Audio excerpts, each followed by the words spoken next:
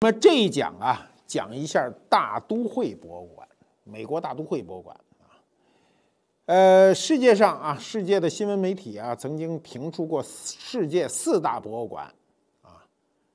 第一，英国伦敦的大英博物馆；第二，法国巴黎的卢浮宫；第三是俄罗斯的圣彼得堡的埃尔米塔什博物馆，啊，俗称东宫。第四是美国纽约的大都会艺术博物馆，这里没中国的故宫啊，听着有点不得提气，外国人小气了，不把我们评进去啊。大英博物馆成立于最早啊，一七五三年，距今二百六十多年了啊。一七五九年就向公众开放了，它是世界上历史最悠久、规模最宏伟的综合性博物馆。拥有的藏品呢，八百多万件，收集了英国本国的以及古埃及、古巴比伦、古希腊、古罗马、古印度、古中国等古老国家的文物啊。进去以后琳琅满目。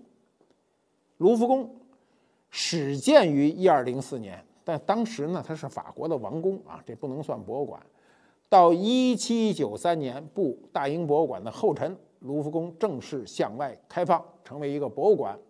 拥有的艺术收藏品四十万件以上，包括雕塑、绘画，啊，这个美术工艺啊，以及古代东方、古希腊、古埃及、古罗马等六个门类。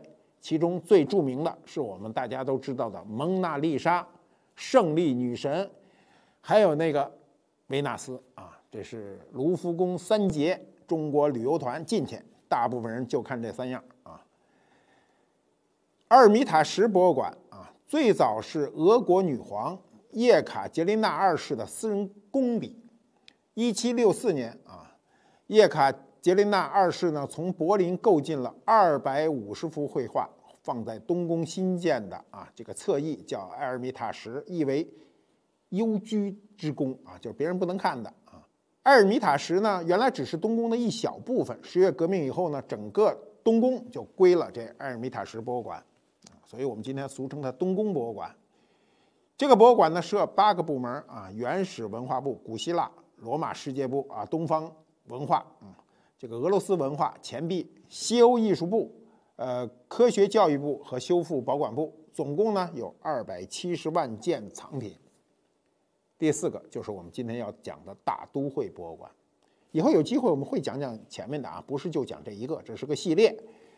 那四大博物馆里呢，大英。博物馆和大都会博物馆都是专门为陈设艺术藏品建造起来的博物馆，而卢浮宫呢和东宫呢是遗留下来的皇宫，那咱们的故宫呢也是遗留下来的皇宫啊。这个博物馆的性质不同，大英大都会啊就是专门为博物馆而建造的博物馆，而剩下的呢都是继承了别人的遗存。世界排名的这个大博物馆里，外国人为什么不选我们故宫呢？这让我们听着不忿呐，不高兴啊！因为呢，我们故宫的这个藏品呢，主要都是我们自己的藏品，即便有些海外的藏品哈，也是海外通过这个贸易商品交流和使节纳贡获得的，不是刻意的艺术追求。世界四大博物馆展现的是世界文明的。文化，而我们的故宫呢，展现的绝大部分是我们自己的文化。站在西方人的角度，或者说站在全球的角度呢，故宫显得就狭隘一点。所以，西方排名四大博物馆里把故宫排除在外。我们自个儿一说呢，就是五大博物馆，人家不给评，咱自个儿评，加上故宫。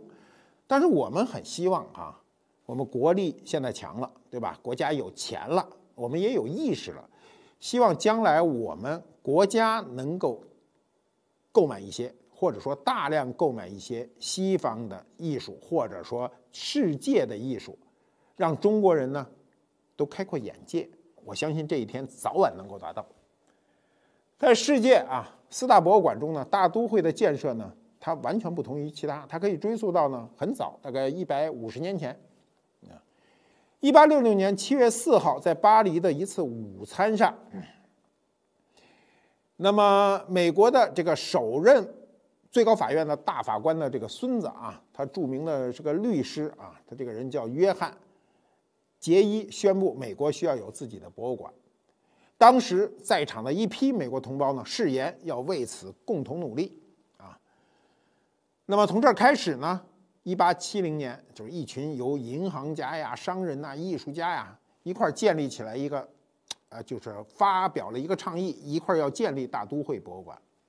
那么大都会建馆的目的是什么呢？是为了鼓励和发展艺术在生产和日常生活中的一个应用，为了推动艺术的通识教育。什么叫通识教育呢？就是我们今天所做的这种教育，就是我经常提倡的这种通识教育。你应该了解你的国家，了解你的文化，了解你的艺术，甚至了解你的文物。所以为大众就提供相应的指导。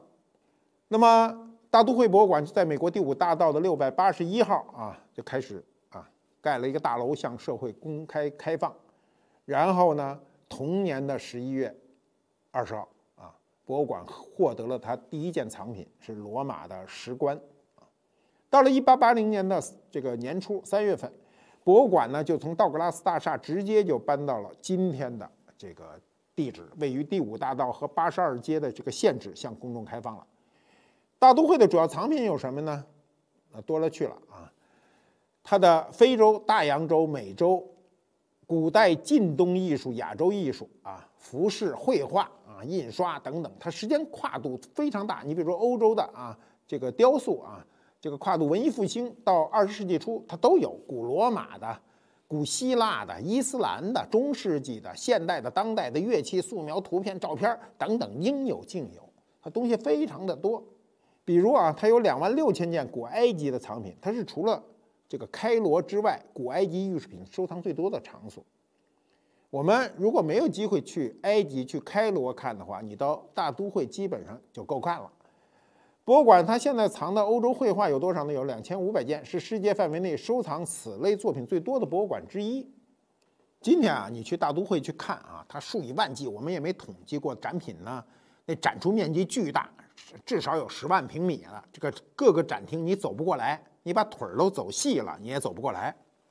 大都会博物馆有个非常有趣的一个非官方的吉祥物，叫蓝陶河马。这东西长得倍儿萌，是古埃及河马形的一个陶塑啊，它是大都会的一个藏品，是它的一个董事的捐献。这个小蓝河马呢，是在古埃及的中王国时期啊，具体可以呃这个追溯到呢公元前。一九六一就两千年前，那就距今四千年前，大概是这个时间。那么四千年前，你看它那个雕塑啊，非常的准确，而且呢，颜色非常可爱，所以就成为了它一个很萌的一个吉祥物啊。这个早在一九三一年的时候呢，一个来自英国的作家拜访大都会后，就把这个小蓝河马的这个海报，当时他做了海报呢，就带回家。一带回家呢，孩子们就很喜欢他，给他起名叫威廉。英国人起名不叫威廉都不会起名啊，所以这个这个作家就管这个河马叫威廉。这个威廉的故事后来居然在英国就传播开了，传播开了以后呢，这个博物馆就借势出了一本书，这书就叫《威廉和他的朋友们》，这儿童书。威廉呢就逐渐成为了玩偶摆件，出现在大都会纪念品的各个角落。所以，我们啊，观复博物馆。马上就要推出一特萌的吉祥物啊，要搁在各个角落里。那么我第一次去大都会的时候呢，才知道大都会实行的是叫建议票价。那么什么叫建议票价呢？比如今天二十五块钱美金啊，你给二十四块钱美金也能进去，您给二十块美金也能进去，您给十块钱、给五块钱，乃至您给一块钱美金。也可以进去，你说我没钱，我就想看这艺术，我就喜欢艺术。您不给钱也能进去，这就叫建议票价。他的建议票价是买你对自我的一个尊重，买你对文化的一个尊重。二十五美金啊，二十五美金，按照今天的这个人民币的比例，二七十四，五七三十五，一百七十五块钱啊，听着也不是特便宜啊。那么大部分人都会交这个钱买自己的文化尊严。那么我第一次去大都会啊，买完票以后呢，胸胸牌给个小胸牌别在胸胸上啊，就进去了。别上这个小胸牌以后，管一天。这一天您出去吃饭啊，会个朋友，您回来接着看没有问题啊。所以这牌呢，一天一个颜色。那你非说我礼拜一是这色儿的，我下礼拜一再来，那就凭自觉了。反正人是建议票价。那么我去大都会呢，这个感受啊，首先是我要看中国文化。为什么要看中国文化呢？很简单，我们熟，因为熟就亲，所以一看到中国文物就非常亲。所以对我来说呢，到大都会的直接目的就是我看大都会博物馆究竟收藏了中国多少东西。我第一次去啊。第一个感受，就是一进门二层回廊啊，上面周圈是中国陶瓷的展陈，基本上是中国陶瓷简史啊。你要喜欢陶瓷的人转这一圈就心满意足。这个位置非常好，当时我还挺吃惊，我觉得大都会对我们不错，把我们的陶瓷呢就搁在这入门一进口的二层上，很方便的一个位置。那个位置今天可以喝咖啡啊，去喝喝茶，休息一下都行。再有一个感受呢，就是我一进他那大厅啊，他有一个中国展馆的大厅呢，那是广胜寺壁画，这个比较壮观。这个广胜寺啊，它这个寺院呢，这个东汉时期就有了啊，就这个东汉时期建和元年，公元一四七年，它后来多次焚毁。中国的这个古建筑，您都不要问啊，因为它都是木质架构啊，很容易着火，一个雷劈着了火就重新建。那么它历史上焚毁重建多少次，我也闹不清楚。反正现在剩下的这是元代建筑。那么这个元代的药师经变这个壁画呢，当年就在这个陕西洪洞县广胜寺的这个下寺大殿的山墙上，就在这山墙上。上世纪二十年代啊，这个军阀混战，我们都知道，民国时期军阀混战，民不聊生，这广胜寺呢就破烂。不堪这庙里这和尚呢，就无钱修庙啊！他不仅无钱修庙，他还无钱吃饭。那么，一九二九年的时候呢，这当地那县长就批准了，说这个这庙里的几个主持啊，就和几个乡绅就就商量，就说咱得卖东西了，不卖东西咱活不了了。那怎么办呢？突然有人要买这壁画啊！这壁画很难买，我告诉你，这壁画啊，比什么都难买。为什么？它贴墙上。你起下来稍不注意，它散了，它就没价值了。那么这些人就折腾来折腾去啊，就以一千六百大洋银元将这个药师经变的壁画呢，就卖给俩美国人。所得的款项干嘛呢？他们当时说是用于了维修这大庙啊。他到底修没修这庙，咱就不知道了。那这壁画呢，当年就辗转啊，就来到了美国，被美国谁收购了呢？这事儿有点神啊，就是他被一美国牙医收购了，但这壁画忒大忒大呀，在家里没法搁，也没法展现呢。一九六四年的时候，这牙医就以他母亲的名义将这个大壁画啊，就捐给了大都会。这幅壁画呢，现在就在大都会博物馆中国区最显眼的位置上。有多大呢？这通高有十米，至少我也不知道，有十米都不止，可能十二米。就是你人一进去，非常的渺小。那里头有几个可以坐的地儿，你坐在那个地方去照一张相。如果你想把这个壁画照全了，你人就剩那么一点儿了，非常的壮观，一去第一震撼啊！这么好的位置，很大的空间，因为它没有空间不能展示，所以我也想那牙医呀，他真的看看不成，他买了也看不成。当年怎么把这个壁画？再重新长在这墙上，那费了天大的劲。今天只要去大都会博物馆参观啊，只要看到这幅画的人，我想没有一个人不在画前留影。我们今天留影很方便，拿个手机一站，手机的这个屏幕也大，一照下来，你就有一种感受啊。这种感受是什么呢？跟美国那个文化完全不一样的一个文化，居然展现在美国最著名的博物馆里。那么，它这个博物馆里啊，除了这个壁画以后，它还有一个非常有名的啊，就今天美国人、西方人去参观也要看的地方，就是苏州园林的一个明轩。明轩呢是完全按照苏州园林去造的，是在馆中馆，它不是露天的，它是在大都会博物馆的二楼的北厅，它是按照中国苏州网师园，网师园非常有名，当年张大千、张善子都在那儿住过啊。网师园里的殿春仪的庭院制造的。什么叫仪呀？这仪这个字儿，平时我们生活中也不用，就是一个竹字头，一个移动的移，就是小房子啊，应该是拿竹子盖的，就很小的房子。他完全把这个实景啊，包括月亮门呐、曲廊啊、山石啊、竹石啊、花草、鱼池等等，完全按照古典园林的这个特色，照着实景给我搬过去。当时苏州园林啊，嗯，美国人专门来的。到苏州找我们最好的工人，啊，最好的工人，把这个，呃，网师园这一个小景给我搬过去，搬到美国大都会博物馆里。那么我们苏州园林的这个特征是什么呢？就叫移步换景，只要你跨一步，这景就不一样；再走两步，景又不一样。它不讲究对称。你看那个欧洲园林，它讲究对称啊，一进去寡然无味，一看就是一个规矩的一个图案而已。中国人讲究就是置天然景为人工景，就是你这人工造出来的景跟天然一样，只不过是浓缩的，啊，你比如树吧，你去看园林啊，园林的树都不能直，是吧？这是讲究歪脖树啊，七拧八歪的树，越歪着这树越有价值，树一直就没有味道了嘛。树一直就是圣诞树，你看一到圣诞节啊，这个西方大街小巷都是圣诞树，一根通往天上一捅，一棵柏树还是松树啊？柏树，嗯，柏树往上一捅，没有味道。中国人就讲，我这得有味道。当年这个这个做明宣的时候，他就有一个碑记啊，这个碑记上面就写着啊，大都会博物馆衷心感谢中国苏州园林局的能工巧匠，他们高超的技术构成了本园不可缺少的部分。你看，他对我们的工人的这个工作啊，这个劳动是认可的，对我们的艺术呢是认可的。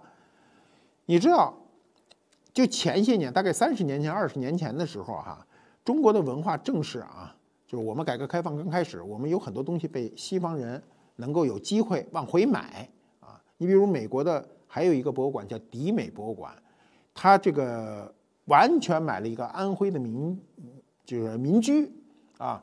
花了很少的一点钱，当时我记得是花了三万美金就把这民居买了。经过文物局批准，一个大约是道光年间的一个民居，叫阴鱼堂。他把每一块砖、每一块瓦、每一个木料都编成号，拍成那时候还是摄像机呢，拍成片子，最后给挪到美国的迪美博物馆给原封的建好，包括那个木板上那些贴的那些纸啊。都是一看就是中国的一个，我记得很清楚，一个笤帚上还插着一个儿童鞋。你在迪美博物馆进去的时候，一看到这间屋子，恍如隔世，立刻就回到安徽。当年三万块钱买的这房啊，盖和运输整个做下来六百万美金，二百倍啊，让中国人觉得这事儿有点不可思议，说是买这东西没多少钱啊，怎么盖这么贵啊？就因为当时。能不让中国人动手的就不让中国人动手。美国有劳工保护啊，美国人最横的就是那工会，就是如果你中国人抢了美国人的工作饭碗是肯定不行的。你中国人来这儿做的活儿一定是美国人不能做的。当时你到，你现在要到阴鱼塘去看，一去就是一个大白墙，马头墙大白墙倍儿白。当时美国人说：“你这不就砌一白墙吗？我们也能来啊！”美国人就开始掉线弄这白墙。弄完以后，中国人一看，说这不行啊！说您这砌的这墙不是中国味儿。什么叫不是中国味儿呢？中国人砌的这白墙不是绝对的平的，是总体感觉你这很平，但你要侧着面啊，从侧面九十度吊着线的看，它这东西不怎么平。美国人可以做的跟镜面一样平，但这味道就没了。中国人喜欢哈乱中求规律啊，叫乱石铺街。你看。我们到处都有那种乱石铺街啊，铺一条小路啊，用碎石头铺的，啊，比如郑板桥的字就有“乱石铺街之誉”啊，这是一种美誉。中国人就是每个个体都不太规矩，但是遵循某一个原则，这是中国人喜欢的事儿。美国人呢，就是把规矩做成规矩。后来这事儿没辙了，美国人只好交给中国人，那这个费用就上去了。那么大都会博物馆啊，那么它除了感谢。我们现代的苏州园林的这个手艺以外，它在另一块碑上呢，还记录记录着这样一段这个文字，这个文字很有意思。他说呢，这座明代学者隐居的园林和书房，从构想到实现，归功于布鲁克阿斯特夫人长期以来的慷慨的捐助。阿斯特夫人早年曾经在中国呢生活过数年，你看她就有情感，她对中国文化呢就是充满感情，所以她当时回到美国以后呢，她是大都会博物馆的董事，也是远东艺术部的顾问委员会的主席，所以他就提出了在大都会建立中国园林的设想。你看，文化就是这样，文化的能量呢，就是能影响对文化一无所知的人。那阿斯特夫人呢？她掌管的这个基金呢，就叫文森特·阿斯特基金，所以他就为这个提供这个园林就很建设提供费用，这个费用呢巨大啊！所以博物馆在亚洲部呢就划出了一个四十乘五十九英尺的场地啊，听着不是很大，其实挺大一块地，建立了这个中国园林。七七年的时候呢，他们远东部的主任，那改革开放还没开始，七八年才开始嘛，就就跑到这个中国来。他来了以后，就找上海同济大学最著名的园林专家陈从周教授呢，就到苏州考察。我们现在要看很多园林的书，都是陈教授的这个著作。那么他就根据大都会的实际情况，结合苏州园林的特点，选了这个这个网师园的这个位置。七九年底呢，这个一共啊，他这个建这个过程非常复杂，他把。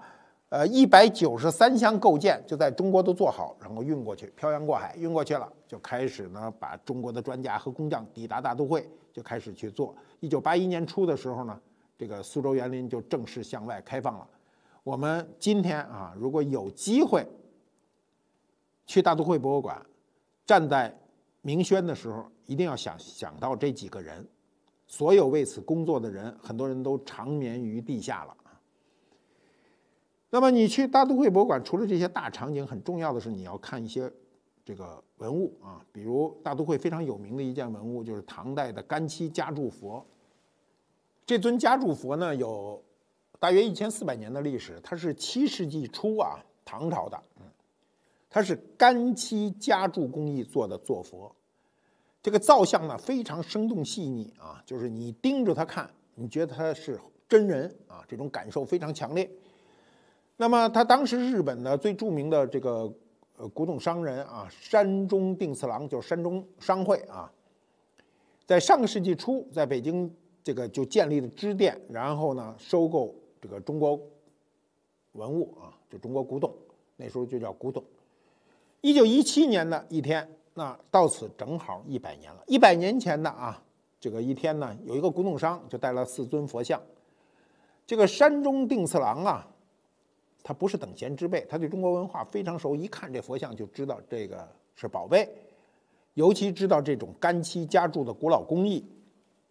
这山中呢就说这干漆夹铸，哎，这个真的是不得了的一个事儿，所以毫不犹豫就花钱买了。那么山中把这些佛像运到美国以后呢，就留下了一尊，其他三尊呢就在美国纽约分店开始出售，引起美国各大博物馆的关注。纽约大都会博物馆呢，很快就高价买了其中一尊。我们今天看到的这个这尊这个干漆夹铸的坐佛呢，就是当年高价购入的珍宝。我们为什么看到的佛都是石佛呀、木佛呀，很少看到夹铸佛呢？是因为夹铸佛在唐代的时候啊，他为了做佛事游街方便。你想，我们做佛事游街，你扛一大石头佛，你来多少人都扛不动啊。但这石佛呢，又需要一定的体量感。这种体量感，就是在这个做佛事游行的时候呢，能够给人一个庄严肃穆的感觉，所以要做的比较大。大了以后呢，你就是做一木佛也扛不动，所以只能做这种夹柱佛。夹柱佛非常的轻。我们要了解一下这个干漆夹柱是个怎么个工艺啊？这个干漆夹柱啊，其实。它是先要做好一个胎，这个胎呢一定是可逆转的。什么叫可逆转呢？你拿泥巴做一个胎就可逆转，你拿水泥做一个胎，它就不能逆转。逆转就是遇水能化。它先要做一个木架，木架上面有泥胎，泥胎以后呢，然后披麻，披麻以后呢刷漆，等干了以后呢，把这个里头的胎全部取出，它就形成一个空壳，然后再再修漆。所以它既叫夹柱，又叫脱胎。就是这么来的，那么今天啊，我们有机会如果去这个大都会博物馆，一定要看看这个家柱佛。这个家柱佛呢，两个手今天是不在的，所以它形成一个空洞。这个空洞正好你能看清楚它的结构。到了大都会博物馆啊，除了这种比较大型的这个文物哈，有时候它有些你你你不大注意的小的文物非常重要，比如有一个。这个韩干的著名的绘画《照夜白图》啊，它不是常年展出，每年展很短的时间。照夜白呢是唐玄宗的爱马啊，你知道昭陵六骏啊是唐太宗的，那是两回事儿。这照夜白，所以你看这马就有点盛装舞步那意思啊。传说中它是汗血宝马，可是他画的这马有点胖啊，有点画胖了。据说啊。这个晚清的时候，赵夜白是从清宫流出来的，都不用据说是肯定的。画卷上留有恭亲王的章，那么就说呢，他肯定跟恭亲王有关。后来呢，归过溥儒啊，溥心畬，溥心畬有鉴定书画藏印在上面盖着，那证明他留下了一个痕迹。过去啊，有名的人、牛的人获得国宝级的绘画，都在上面盖一个 自个儿的小章，表明这东西经过我手。那么二十世纪初呢，恭亲王的这个孙子啊，就是为了这个复辟啊，四处筹措基金，就开始想变卖恭亲王这个王府中这些奇珍异宝。赵夜白就随之浮出水面。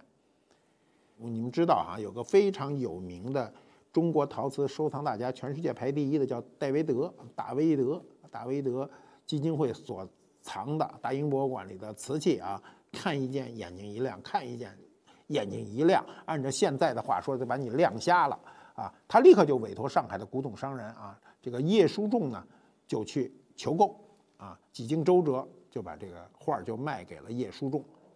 张伯驹就听了这事儿就很着急。当时他的回忆录就说啊，说他这个画太重要了啊，说千万不能出境啊，说怎么办呢？张伯驹先生就是拼命的想办法，想办法也没有用，没钱想什么办法都没用。最后呢，这《照夜白图》呢还是卖给了戴维德，流失海外。几经周折以后啊，其实在一九七七年呢，才由这个狄龙基金会把这个画呢捐给了大都会，收藏至今。那你算起来，一九七七年到现在才四十年。那么赵夜白，你去看啊，你今天看到这个画上，一看就是光溜溜的一屁股啊，跟咱人的屁股似的，它没有尾巴。那没尾巴是怎么回事？我告诉你，这马叫赵夜白，它就是一白马。如果它是一黑尾巴，它在黑夜里它就看不见了啊，估计就是这么回事儿啊。大都会博物馆呢，这个他自己说哈，他拥有第一件藏品以前就有这样一个观点，他说什么呢？他说艺术呢可以使所有接触它的人上进，确实是这样。可以促进啊每一个人的信念提升，就能提升你的信念，可以帮助工业和制造业进步，啊，可以使人呢向善。这些理念是因为有博物馆。你看他说的多好啊，这是一个基本社会道德的一个前提。所以他的馆长啊，他的馆长叫托马斯说，他说我认为大都会博物馆是一个百科全书式的博物馆。它出色的展品质量和展品的多样性，使它成为一个世界性的博物馆。我觉得这个话真是说的非常全面。它不仅仅是一个百科全书式的博物馆，它更多的是一个世界性的博物馆。我们国家就缺这种世界性的博物馆。我自己啊，每次去大都会博物馆都是带着问题去，因为我有很多问题解不开嘛。所以我每一次去大都会博物馆，大都会博物馆都帮助。